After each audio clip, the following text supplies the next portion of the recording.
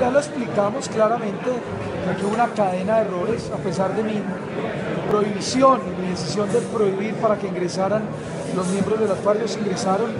con artimañas y también por la intimidación que generan los mismos policías que los cuidan a subalternos que están dentro del Congreso y pues la verdad lo hemos rechazado, hemos tomado las medidas e iniciaremos las investigaciones disciplinarias pertinentes.